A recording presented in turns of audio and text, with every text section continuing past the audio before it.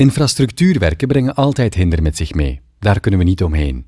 U gaat een periode tegemoet waarin u soms moeilijker uw woning zult kunnen bereiken en afhankelijk van de weersomstandigheden kunt u last hebben van stof of modder.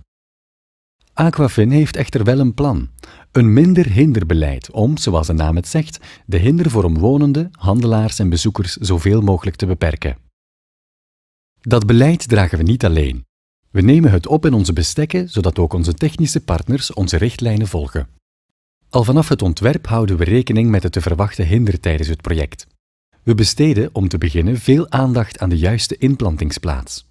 Informatie over de samenstelling van de ondergrond bepaalt mede keuze van de geschikte uitvoeringstechniek voor een vlotte realisatie van het project.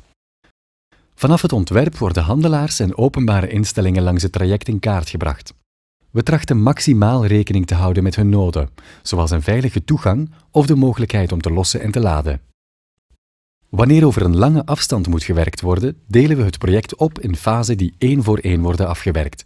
Dit om te vermijden dat een groot traject gedurende lange tijd opengebroken ligt. Ook binnen een fase schuift de werkzone stelselmatig op. De periode waarin de rioleringswerken zich effectief voor uw deur bevinden is van korte duur. Uw woning is op dat moment gedurende enkele dagen niet bereikbaar met de wagen.